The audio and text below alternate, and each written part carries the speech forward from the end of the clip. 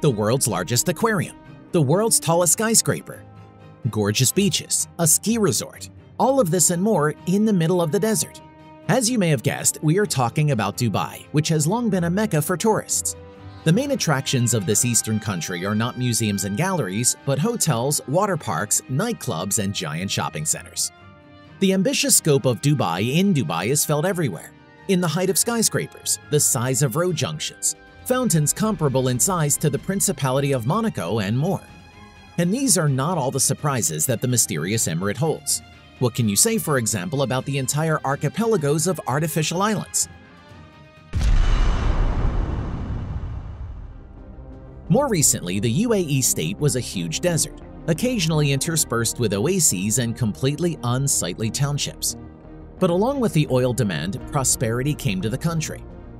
The heads of each of the emirates were able to successfully invest the super profits obtained from the oil field, and the desert turned into a garden and a tourist paradise. Dubai has built many luxury hotels, entertainment, and family centers. Crowds of tourists from all over the world flocked here to enjoy a premium vacation. The main problem in Dubai's tourism industry is that the demand for luxury vacations has significantly exceeded the supply. After all, the length of the coastline of this emirate is only 72 kilometers. To expand the area and build more hotels and entertainment venues, the first artificial island was created in 2001 in Dubai, often referred to as the eighth wonder of the world. The initiator of the ambitious project was the governor of Dubai, Sheikh Mohammed Al Maktoum. Palm Jumeirah is a man-made island with an area of about 6 square kilometers, built on 110 million cubic meters of sand taken from the sea. The project seems successful. In 2006, the formation of land was completed and the territory was set to be built upon. The success inspired the authors of the project, and so a whole archipelago of artificial Palm Islands appears in Dubai Palm Jumeirah, Palm Jebel Ali, and Deira Palm. And between them are located an artificial archipelago of 300 islands, located in the form of a map of the world called the World. In addition to this is the archipelago of the universe, consisting of hundreds of small islands arranged in the form of the Milky Way and the solar system astronomical sums were spent on the project. According to official information, the cost of the Palm Islands was $7 billion, and the world archipelago cost $25 billion. In total, the length of the coastline of Dubai was supposed to grow to 1,500 kilometers. As part of the World Project, it was decided to sell entire islands for construction to world celebrities, in the rest of the territory, it was planned to build a network of hotels, entertainment establishments, and private villas, which could be profitably sold to investors. Part of the land was to remain the property of Sheikh Mohammed. The developers were two state-owned companies, the Dubai World and Nakheel. Engineering and construction work was carried out by contractors from America and Europe. Sheikh Mohammed's enthusiasm has attracted billionaires from all over the world, they were in a hurry to invest money in the unfinished islands and buy real estate. The complexity and therefore the high cost of building artificial islands has its own reasons. First of all, the problem of sand. It had to be removed and transported from the bottom of the Persian Gulf. The sand from the desert did not fit. It turned out to be too fine. To prevent the waves from destroying the islands, they were surrounded by giant breakwaters 4 meters high. Efforts were also required to improve the circulation of water in the bays of the archipelago. Without this, it would stagnate and bloom. Many builders and personnel refused to stay on the ships from which the construction was carried out for a long time due to the heat and uncomfortable living conditions. Potential buyers were interested in the reliability and durability of the artificial islands. Some experts argue that in half a century, the created land areas will go underwater as a result of climate change on Earth, and an increase in the water level in the world ocean. Supporters of the project denied these statements, reassuring investors that their holdings will remain afloat for at least 800 years.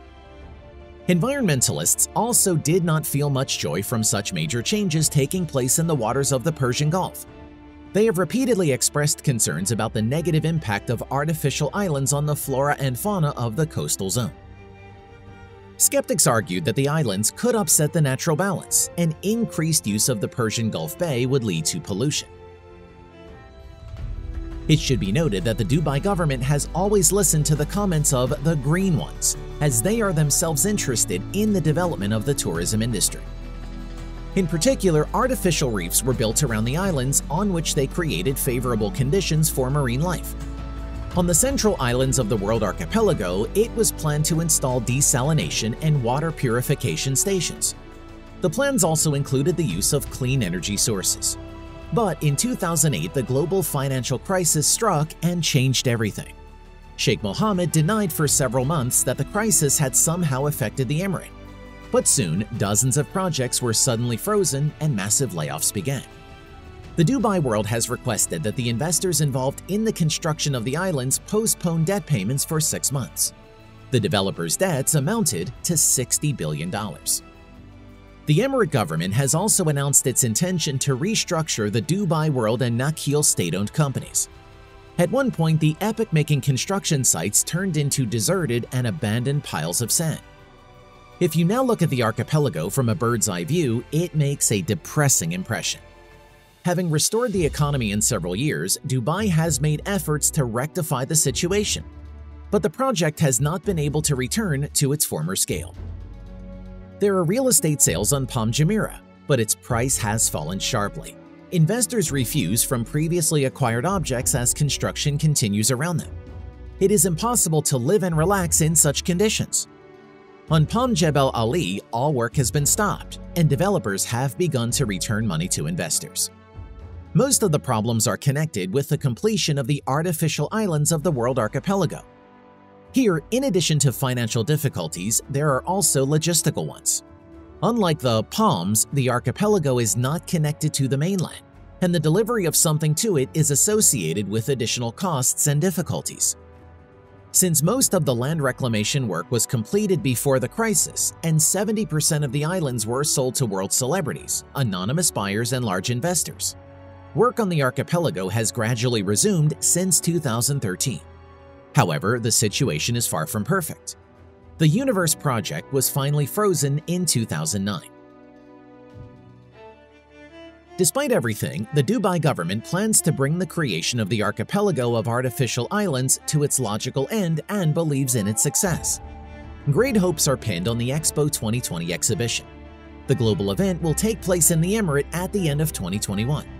It is planned that the event will attract the attention of new investors to the project, Many countries around the world are investing in risky engineering solutions.